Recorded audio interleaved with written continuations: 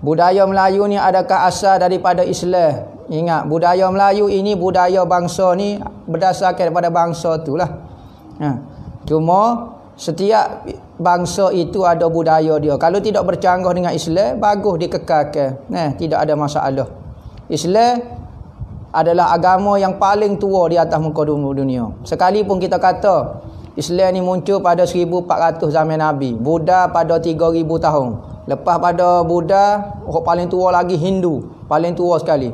Bukan sebenarnya. Agama paling tua sekali adalah agama Islam, agama mentauhid ke Allah, iaitu agama makhluk yang pertama nama Adam alaihi salam, maka dia membawa agama Islam. Itulah agama yang sebenar bagi manusia.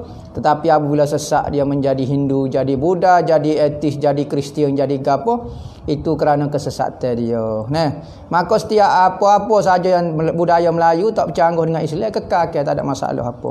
Lebih-lebih lagi kita tengok budaya Melayu ini banyak diserapi dengan Islam, nah, budaya-budaya Islam banyak tu eh. Hmm.